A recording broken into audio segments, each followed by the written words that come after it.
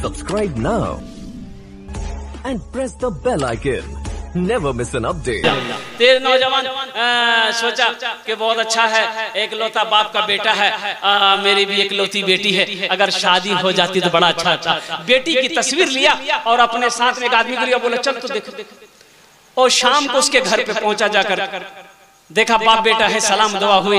तो बोला भाई आप लोग कहाँ से आया? बोला हम लोग तो फला जगह से आया। है क्या काम है? बोला मुझे पता चला कि आपके पास एक लौता बेटा है जो बाहर से पढ़कर आया है संस्कृत पढ़कर आया है। मेरे पास भी एक लौती बेटी है अगर दोनों की शादी हो जाए तो बहुत अच्छा रहेगा। बोला कि ठीक है हम तो आपकी लड़की को देखेगा। बोला देखिए ना निकाला तस्वीर फ़ोटो निकाला बोला देख ली। तो लड़के का बाप देखा तो बोला कि नहीं लड़की तो ठीक है हमको पसंद है। मेरे बेटे को दिखा दी। निकाह तो उसे करनी। तो बेटा देखा। तो बेटे को पसंद आ गया।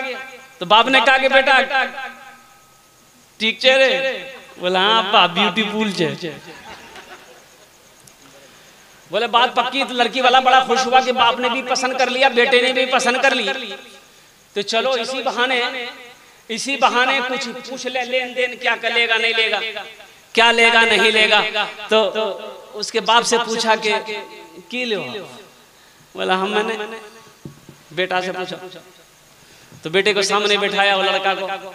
और लड़की वाला पूछा कि बेटा क्या लेगा? बोल टाइटन की घड़ी लेगा कि सोनाटा घड़ी लेगा? क्या लेगा? बोल। तो लड़का संस्कृत में बोला ना बोला की बोल हो? ना बोले जी कहाँ बोले तो उसके साथ में जो था वो बोला कि संस्कृत में बोला फिर पूछ। बोला बेटा क्या लेगा फ्रिज लेगा फ्रिज फ्रिज लड़का बोला ना ये तो ना भी बोल रहा हाँ भी बोल। रहा बोला। फिर पूछा। फिर पूछा। बेटा क्या लेगा? वॉशिंग मशीन लेगा? लड़का बोला ना तो लड़की वाला को गुस्सा आया। बोला खुल के बोलो क्या लेगा? बात समझ में नहीं आई खुल के बोलो। तो लड़का बोला या बोला बात समझे वाली या वहाँ लेगा ये लड़का। नौजवानों, तौबा करो। एक बात याद रखना, किसी के दिल को दुखा कर जहेज लेना। बहुत बड़ा गुनाह है। अच्छा ये शराब पीना हराम है। शराब पीना हराम है। जुआ खेलना हराम है। जिना करना हराम है। चोरी करना हराम है। उसी तरीके से मांग कर जहेज लेना भी हराम है। क्या तुम चाहते हो कि हशर के मैदान में अल्लाह के कटघरे में तुम खड़े किए जाओ? फिर मेरा अल्लाह पूछेगा ये बता लड़की वाले से एक लाख दो लाख रुपए पचास हज़ार रुपए जो जो तुमने लिया था ये किस मत का पैसा था कैसा पैसा था? और कुर्बान जाओ अल्लाह ताला कतरे कतरे का हिसाब लेगा जर्रे जर्रे का हिसाब लेगा। और कुर्बान जाओ जब तक हिसाब नहीं दे दोगे हशर के मैदान से अपने कदम को हिला नहीं सकते। और एक बात नौजवानों मेरे बच्चों याद रखना किसी के दौलत से कोई दौलत वाला नहीं बना। किसी लड़की वाले से अगर तुम पाँच लाख रुपए भी ले भी लोगे ना तो हराम का पैसा रुकता नहीं है। वो जिधर से आएगा उधर से निकल जाएगा। एक बात याद रखना। किसी के दौलत पे आँख ना लगाओ। आस ना लगाओ।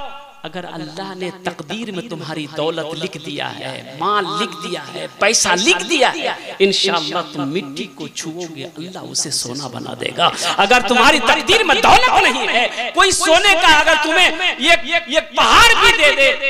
ये सोना तुम्हारे पास नहीं रुकेगा। इसलिए हराम गजा से अल्लाह के रसूल सल्लल्लाहु अलैहि वसल्लम इरशाद फरमाते हैं कि वो वो हो हो वो शख्स जन्नत की खुशबू तक नहीं सूंघ पाएगा जिसके रगों के अंदर में हराम का खून पल्ला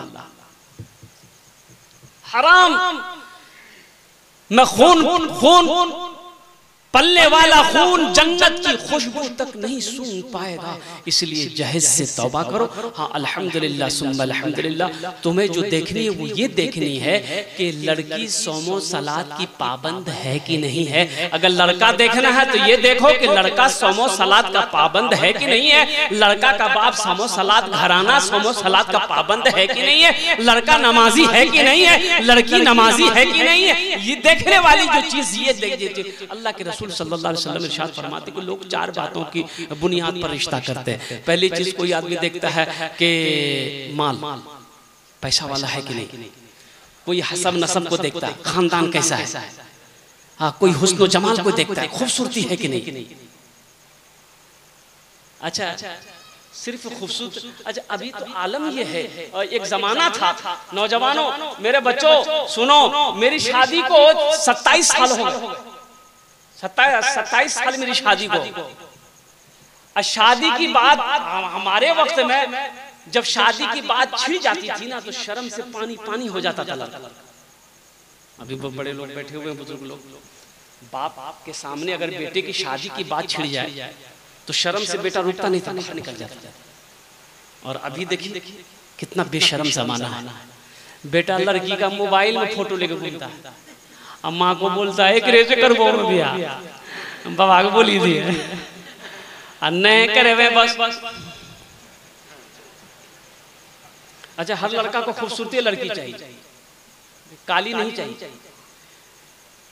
लड़का एक पैर का लंगा है, एक आँख का काना है, लेकिन लड़की कैसा चाहिए? बोला ब्यूटीफुल एक लड़का ऐसे ही छांट रहा था। फ़ोटो देखे वही लड़की नहीं नाक टेढ़ा है हटाओ हटाओ। एकरो बोले दांत निकल लो छे हटाओ। एकरो बोले कान खड़ा छे हटाओ। हेटा बोले नाक चिकटा छे हटाओ। छांटते छांटते चाल वो ये समझ लो उसकी उम्र चालीस साल हो गई तो उसके जीजा जी बहनोई लोग बोले कि अब तुम्हारी शादी नहीं होगी। बोले कहे? बोले इसलिए कि अब तुम बुढ़वा होगी भाई चालीस साल में कौन बेटी देगा? इतना छाटे हो तुम उम्र तो तुम्हारी गुजर गई छांटने चालीस साल उम्र बोला, भैया, अब अब तो सब देखा जे तक हिलवो ना वह करी गई अब छाटा छाटी वाला किस्सा खत्म। इसका जीजा जी बोला, ठीक है एक देखा, कावली सांवली लड़की, काली लड़की देख करके बात चला दिया। बात पक्की हो गई, बारात गई। अब वो शादी करके लेकर बीवी को घर आया। अब पहली रात जब बीवी के पास गया तो बीवी जो घूंघट उठाई ना, वो ये लड़का बेहोश हो लड़की घबरा गई कि भाई इसको कोई बीमारी है क्या? हम कुछ पूछने वाले थे उससे पहले बेहोश हो गया। पानी का गिलास उठाई मुँह पे छीटा मारी। बोला अरे आँख खोलिए हम कुछ पूछना चाह रहे थे। अब पूछने से पहले बेहोश हो गए। तो नौजवान बोला कि जल्दी पूछो नहीं तो फिर हम बेहोश हो जाएँगे। तो लड़की बोली कि ये बताइए हम तो यहाँ नहीं नहीं आए हैं। हम किससे पर्दा करेंगे किससे पर्दा नहीं करेंगे? आप मेरे शोहर हैं आप बता दीजिए। तो लड़का बोला तुम किसी से पर्दा करो या ना करो? लेकिन हमसे ज़रूर पर्दा करना फिर लड़का बेहोश हो गया नौजवानों सिर्फ़ सूरत को ना देखो सीरत को भी देखो। सूरत तो आज है कल नहीं है सीरत आज भी है कल भी रहेगा। अल्लाह के रसूल जनाब मोहम्मद रसूलुल्लाह सल्लल्लाहु अलैहि वसल्लम की चार बेटियाँ थी चार बेटी थी दामाद तीन है बेटी चार है। हज़रत उस्मान गनी रदी अल्लाह ताला वो खुश नसीब सहाबी रसूल थे जिनके निकाम अल्लाह के रसूल सल्लल्लाहु अलैहि वसल्लम ने दो बेटियों को दिया। और हज़रत अली रदी अल्लाह ताला। इसलिए नौजवानों मेरे बच्चों दीन सीखो। ये मदरसा यही पैगाम देता है। अच्छा मदरसे को अल्हम्दुलिल्लाह सुम्मा अल्हम्दुलिल्लाह। एक हाफिज कुरान दस आदमी को जन्नत में लेकर जाएगा। कितना आदमी को लेकर जाएगा? हाँ? एक वकील साहब कितने को लेकर जाएगा? नहीं। प्रोफेसर साहब? बड़ा बाबू? इंजीनियर साहब? मास्टर साहब हो मास्टर साहब हो। है। और एक आलिम दीन चार सौ लोगों को जन्नत में लेकर जाएगा। सुबहान अल्लाह बोला तो माशा एक आलिम दीन चार सौ लोगों को जन्नत में लेकर जाएगा। और एक हाफिज कुरान अल्हम्दुलिल्लाह सुम्मा अल्हम्दुलिल्लाह दस आदमी को जन्नत में लेकर जाएगा। ये नबी करीम जनाब मोहम्मद रसूलुल्लाह। सारे लोग बोलो सल्लल्लाहु अलैहि वसल्लम की हदीस है फरमान। और सुनो सुनो। हज़रत मुआज बिन जबल रदी अल्लाह नु यमन का गवर्नर बनाए। अल्लाह के रसूल ने कहा कि मुआज कल सुबह तुम्हारा सफ़र यमन के लिए। हुक्म मिल गया पूरी रात तैयारी की। सुबह हुई तो अल्लाह के रसूल तशरीफ़ लाए। मुआज तैयार हो कहा रसूल मैं तैयार हूँ। कहा कि सवारी पे बैठो। ऊँट को बिठाएगी हज़रत मुआज ऊँट पर चढ़ गए। अल्लाह के रसूल का हुक्म था। कि सवारी पर बैठो तो बैठ गए। ऊँट खड़ा हो गया। तो अल्लाह के रसूल सल्लल्लाहु अलैहि वसल्लम, ये ऊँट का रस्सी पकड़ते हैं। यूँ रस्सी पकड़े ऊँट का और आगे आगे चल रहे हैं, पैदल। हज़रत मुआज ऊँट पर बैठ। गए तो हज़रत मुआज बिन जबल रदी अल्लाह तआला काँप गए? या रसूलुल्लाह, ये बेअदबी है। या हबीब अल्लाह मैं आपका गुलाम हूँ। मैं ऊँट पर जाऊँ, मैं सवारी पर रहूँ। आप पैदल चलें। तो अल्लाह के रसूल ने इरशाद फरमाया, मुआज बैठा रहो। मुआज बैठा रहो। मैं तुम्हारी इज़्ज़त नहीं कर रहा हूँ। तुम्हारे सीने में जो अल्लाह का कुरान है हम उसकी इज़्ज़त कर रहे हैं। सुबह अल्लाह और मुआज सुनो जिसके सीने में अल्लाह का कुरान होता है वो अल्लाह का दोस्त होता है। वो अल्लाह का दोस्त होता है। तो इसलिए नौजवानों मेरे बच्चों अपने बच्चों को और सुनो वो माँ बाप खुशनसीब हैं जिसका बेटा हाफिज कुरान है जिसका बेटा आलिम दीन है अल्लाह अकबर कबीरा अल्लाह ताज पहनाएगा हशर के मैदान में हाफिज कुरान के माँ बाप के सरों पे ताज पहनाएगा अब वो ताज कैसा ताज होगा उलमा फरमाते हैं ए बाबू ए बाबू बैठे ए बेटा बैठ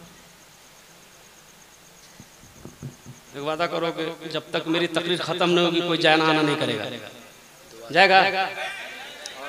है लगे? एक जगह तकरीर करे थे नौजवान खड़ा हुआ, मैंने कहा, क्या हो बोला है बैठ गया। दस मिनट का फिर खड़ा हुआ। मैंने कहा बेचैन रे। बोला, बहुत ज़ोर से लगा बैठ गया। कुछ देर के बाद मेरी तकरीर खत्म हो गई, देखे बैठा हुआ है। तो मेरी नज़र पड़ गई तो मैंने इशारा किया मिले बेटा, जो। बोले, नहीं जुए बोले कनन जी बोले की करल जी जी करल जी जब ये भाग ले जब जन ज़रूरत नहीं इत्मीनान और सुकून के साथ बैठो ये पर अल्हम्दुलिल्लाह। बस मेरी तकरीर पूरी होने वाली है अल्हम्दुलिल्लाह। अब ज़्यादा वक्त आपका नहीं लेंगे। डॉक्टरों ने कहा कि एक घंटे से ज़्यादा तकरीर नहीं करनी। है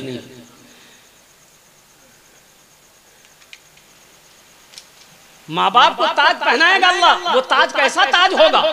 अल्लाह के रसूल ने इरशाद फरमाया कि उस ताज के अंदर में इतनी रोशनी होगी कि सूरज की रोशनी उसके सामने फीकी पड़ जाए तो अहले महशरियों पूछेंगे अल्लाह के फरिश्ते से कि भाई ये लोग कौन है जिसके सर पे ताज है? कोई अंबिया हैं शोहदा हैं सालिहीन की जमात में से है सिद्दीकीन की जमात में से है सोलहा की जमात में से है फोकहा की जमात में से है मुहद्दिसीन है कौन है? तो अल्लाह के फरिश्ते जवाब देंगे नहीं नहीं ये कोई अंबिया की जमात में से नहीं है शोहदा की जमात में से नहीं है बल्कि ये वो बाप माँ है जिन्होंने जिनका बेटा हाफिज कुरान आलिम दीन है। जिन्होंने अपने बेटे को हाफिज कुरान बनाया आलिम दीन बनाया वो लोग कहेंगे काश हाय काश दुनिया में हम भी अपने बेटे को हाफिज कुरान बनाते आलिम दीन बनाते। तो आज मेरे सरों पे भी ताज होता मौत तो करीब है नौजवानों मेरे बाबू। मेरे बच्चों आगे के लिए कुछ भेजो। और एक बात याद रखो ये हाफिज कुरान अल्लाह का दोस्त है। ये हाफिज कुरान अल्लाह का दोस्त है। तो जो अल्लाह के दोस्त से मोहब्बत करेगा अल्लाह उससे मोहब्बत करेंगे कि नहीं करेंगे। बोलो भाई। कितने लोग करोगे? हाफिज कुरान आलिम दिन से मोहब्बत, इंशाल्लाह, हाथों को उठाओ, मैं फिर मैं दुआ करूँ, अल्हम्दुलिल्लाह। बस, ज़्यादा नहीं, मेरे पास एक आई है, एक चिट्ठी आई, अल्हम्दुलिल्लाह एक पर्ची आई है, और उसमें लिखा हुआ, अल्हम्दुलिल्लाह, सुम्मा अल्हम्दुलिल्लाह। भाई, आखिरत के लिए कुछ करो, नौजवानों, अल्हम्दुलिल्लाह। एक बच्चा को मदरसे में पढ़ाने का खर्च, कम से कम कम से कम मिनिमम खर्च जो है, वो पाँच सौ रुपया महीना है। कितना भाई? मिनिमम पाँच सौ, एक साल के कितने हुए? छह हज़ार। एक हज़ार रुपए छुट्टियों को निकाल कितने बचे? बचे पाँच हज़ार। एक बच्चा जहीन है, कुव्वत हाफिजा तेज है। अल्हम्दुलिल्लाह, सुम्मा अल्हम्दुलिल्लाह। एक साल में भी हाफिज कुरान हो जाता है। अल्हम्दुलिल्लाह, यहाँ बड़े बड़े पैसे वाले लोग बैठे हुए हैं। एक से एक बिज़नेस ताजिर लोग बैठे किसान लोग बैठे हैं। अल्हम्दुलिल्लाह, सुम्मा अल्हम्दुलिल्लाह। मुझे नहीं, ज़्यादा नहीं, पाँच आदमी चाहिए। हम उसके लिए दस दुआ करेंगे। कितनी दुआ करेंगे? बोलो, कितनी दुआ करेंगे? भाई इंशाल्लाह ये मदरसा दारी अरकम। दारे अरकम। जानते हो ये मदरसे का सिलसिला तो हशर के मैदान जब ज़मीन नहीं थी जब धरती को अल्लाह ने बनाया पैदा नहीं किया था आसमान को पैदा नहीं किया था। उस वक्त से ये मदरसे चल रहे हैं। ये मदरसा उस वक्त से चल रहा है। तुम्हें पता भी है खबर भी है। अल्लाह ने मदरसे की बुनियाद रखी। वो हशर के मैदान में तमाम आलम अरबा को जमा करके और कुर्बान जाओ फिर वो मदरसा गारे हेरा में आया मदरसा गारे हेरा मदरसा गारे हेरा वहाँ पर आयत नाजिल हुई कुरान नाजिल हुआ। फिर वो मदरसा वहाँ से फैला मदरसा दारे अरकम आया। और फिर वो मदरसा वहाँ से ट्रांसफ़र होकर मस्जिद नबी आया मस्जिद मदरसा सुफ़ा। अब वहीं से ये शाखें निकली है पूरी दुनिया के अंदर। मदरसा दारी रकम है। आओ, अल्हम्दुलिल्लाह, अल्लाह ने दौलत दिया, पैसा दिया है। तो आज एक बच्चे को हाफिज कुरान बनाओ। चाहते हो कि मेरा भाई बड़ा हो गया, मेरा बेटा बड़ा हो गया, अब नहीं हो सकता, हम नहीं बना सकते हैं। तो कम से कम अल्लाह दौलत दिया है, अपने पैसे से एक बच्चे को हाफिज कुरान बनाओ। एक बच्चे को अपना पैसा खिलाकर, अपना दाना खिलाकर, एक बच्चे को हाफिज कुरान बनाओ। इन नमल अमाल अमाल का दारो मदार नीयत पर है। है कोई पहला नौजवान? मुझे पाँच आदमी चाहिए दस्ते दुआ करबो इंशाल्लाह अपना जोड़ने पहला नौजवान, अपनी माँ के नाम पर या अपने बाप के नाम पर। और एक बात याद रखना, इसमें दोहरा सभा मिलेगा। माँ बाप मर गए हैं या ज़िंदा हैं? उसके नाम से अगर नीयत सिर्फ़ तुमने कर लिखा, इंशाल्लाह। हम ये पाँच हज़ार रुपए मदरसे में देंगे बच्चे को हाफिज कुरान बनाएँगे अल्लाह दिल को देखता है नीयत को देखेगा। नीयत के दिल को देखता है नीयत को देखता है अल्लाह। तुम्हारी शक्ल सूरत को अल्लाह नहीं देखेगा। और कुर्बान जाओ माँ मर गई है बाप मर गया है इरादा कर लो। अल्लाह जब तक इस दमदर सदारी अरकम इस धरती पर ज़िंदा रहेगा कायम रहेगा। अल्लाह तेरे माँ बाप को कब्र में कयामत तक सवाब अता फरमाता रहेगा माँ बाप की राह रूहें खुश होंगी अल्लाह तेरे घर में खुशहाली पैदा फरमा